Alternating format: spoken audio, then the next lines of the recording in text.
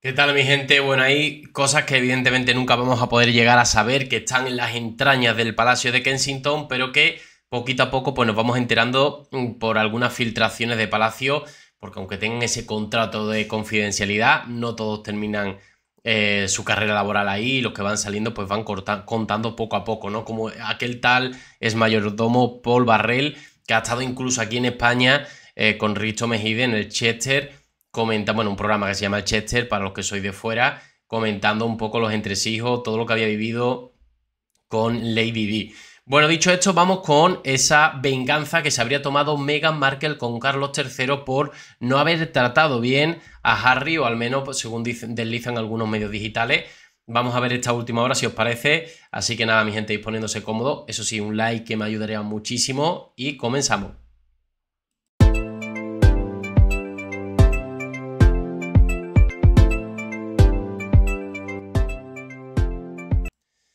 Bueno, y como os decía, vamos allá, vamos allá con esta última hora. La venganza secreta de Meghan contra su suegro por maltratar a Enrique, a Harry, humillación. Una escena en el aeropuerto de Heathrow, eh, eh, explica el clima bélico entre los Royal.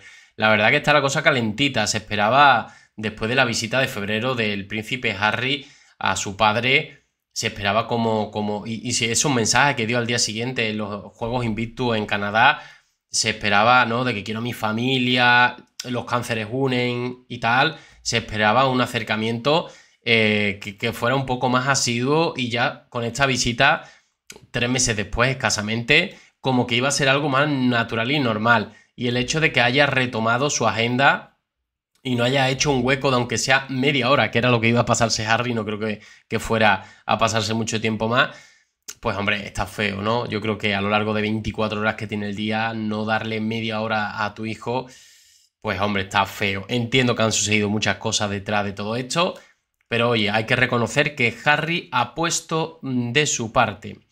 Bueno, la visita de Harry de Sasses a Londres para promocionar los Invictus Games ha acabado y el balance de daño es importante, su presencia en el Reino Unido es incómoda, especialmente para buena parte de sus familiares, excepto los parientes por parte de madre Diana de Gales. El resto actúa al unísono como un muro infranqueable. Cuando el marido de Meghan Markle decidió abandonar The Firm, firmó su sentencia de muerte y los ataques, revelaciones e intimidades vergonzosos que explicó en su libro de memoria destapando conducta racista por parte del padre Carlos y la cuñada Kate Middleton lo han dejado sin capacidad de apelación ni tampoco ninguna posibilidad de clemencia.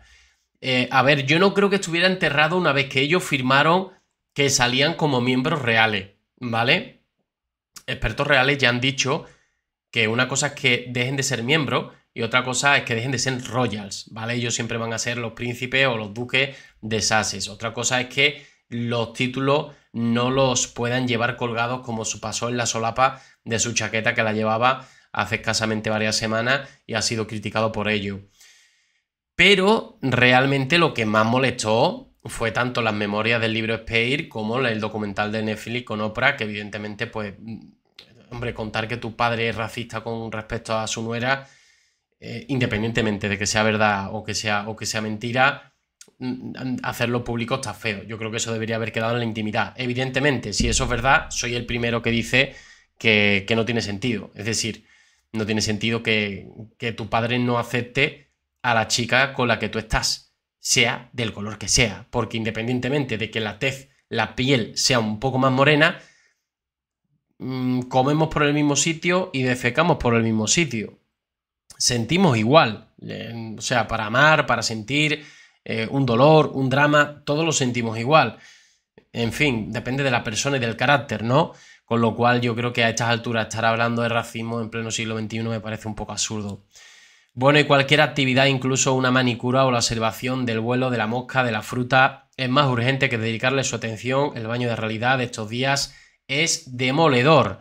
La ausencia de contacto entre el rey enfermo de cáncer y su hijo expatriado es la pincelada gruesa, pero también tenemos el trazo finito de birlarle honores militares y condecoraciones, una cuestión que hace daño al orgullo de Harry, siempre orgulloso e implicado con las Fuerzas Armadas Británicas y ese es un poco su punto débil, ¿no?